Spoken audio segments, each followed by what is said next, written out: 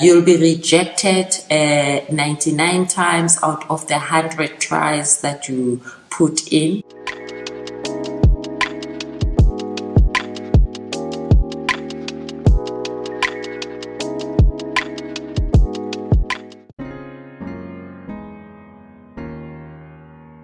My name is Thandi Senoamali Netshiswinzhe. Uh, I am an accountant and I ventured into project management as well. I hold masters in project management and I also have masters in business administration. I am a social entrepreneur. I have a passion of making sure that we build uh, future leaders as early as we can by stimulating them with proper education, making sure that they are fed well, uh, making sure that we provide infrastructure for learning that is proper for their stimulation, and also tools for learning and play. Actually, a good question uh, that you're asking. I was actually just born here in Johannesburg. I studied in a Wits Technikon and uh, yeah, the rest is there. I studied at uh, University of KwaZulu Natal as well and Wits Business School and all of that. Then I pursued then being an accountant and I did auditing and all that was that needs to be done under accounting. But then because it wasn't my passion. I didn't see myself giving back as much as I want to give back to communities. That is my fulfillment spiritually and with my personal development as well. I think I was depressed for quite some time and I had to sit down and relook into what I really want to do because even in that time, just after the auditing and accounting experience I got, I started my own business that was in 2004, I started my consulting practice, but it was still looking into accounting work. So I used to do a lot of that accounting, but I wasn't uh, complete even doing that. You know, you I still came back and I felt that, you know what, it's just a job. So I needed to do something that resonates with my soul and someone just spoke to me about children and i was like no you know what? I grew up loving children so much. Let me see if i can be able to participate in this proposal that was tabled before me. And we ended up partnering and we've been running that for the past five years now. And i will do other projects obviously but then this really gives me sleep uh, it's something that I wake up and I start thinking, what change can I do out there to develop my communities? And I can even see the results uh, in terms of what I do each and every day. Yeah, that's still a challenge even today uh, for many businesses that really want to kick off from the ground. And most of the time, what you really need is just that injection. For me, when I started consulting, I had worked before, so I had a bit of savings uh, that I had, even in my retirement fund. So I converted those into liquid cash and uh, I then bought the necessary equipment that I needed to establish the business. I tried to establish them out of my own savings. Obviously, that was not enough, so I really needed help in that regard. So, most of the time, you approach financial institutions and the requirements that are there as a small business, you are unable to meet them. I mean, I couldn't produce financial statements of the past three years for them to evaluate and see my bank my bankability. So all of that was a challenge, I must say. But as far as the banks, I struggled, I must say, and also these financial institutions, I also struggled pursuing them in order to give uh, me funding. Family support and also you need to create special networks of the people that have been in the industry uh, so that you are able to uh, share your challenges with them and uh, some that are very honest will be able to assist you and I was fortunate enough in that regard as well that there's someone that believed in me and really wanted to help me uh, uh, uh, with the capital injection into the business.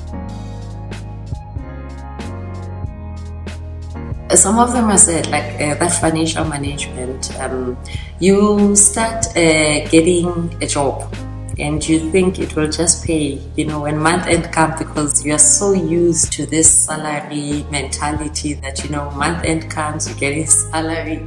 So you are also thinking that you know when month end comes my client will pay. But then your client pays uh, four six months after down the line. So it, that was quite a challenge because at some point I was fighting with banks. You know, I had a car, I couldn't pay for. I had a bond, I couldn't pay for. It's very important uh, to know what are the financial needs and project them as far as possible. And I think you also need a bit of uh, mentorship as well uh, I threw myself into the deep and I just had to learn how to swim out of that deep.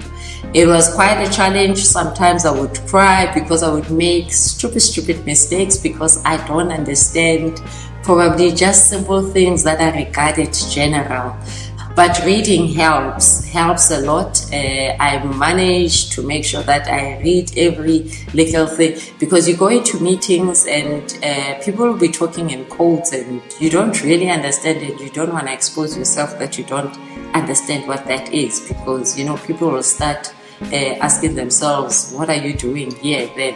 So you keep that uh, to yourself and you want to ask later on. But then if you don't have this person to ask, uh, then it becomes a challenge as well. So I think a bit of mentorship is also important.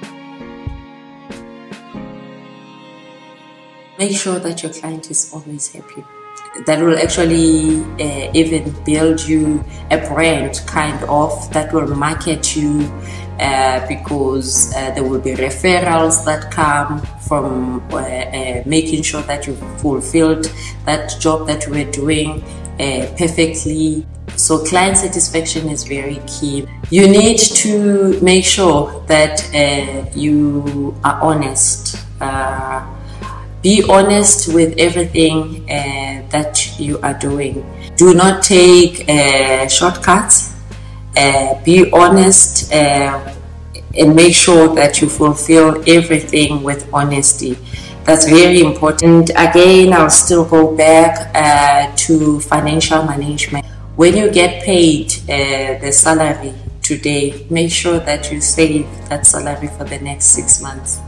So uh, financial management is very critical. If you want your business to be sustainable, do not get paid and go and buy everything that is not necessary for the business with the money that you have.